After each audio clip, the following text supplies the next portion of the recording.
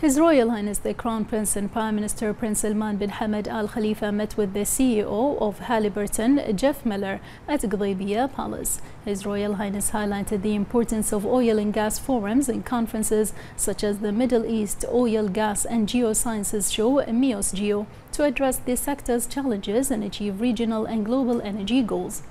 He emphasized the oil industry's importance in driving economic advancement as well as the private sector's role in supporting efforts to achieve the sector's sustainability and contributing to providing quality opportunities that support overall economic growth.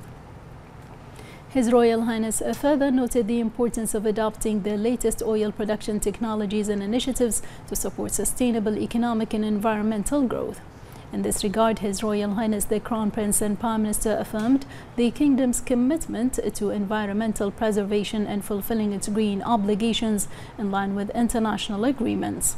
The Minister of Finance and National Economy, Sheikh Salman bin Khalifa Al Khalifa, and the Minister of Oil and Environment, Dr. Mohammed bin Mbarak bin Daina, also attended the meeting.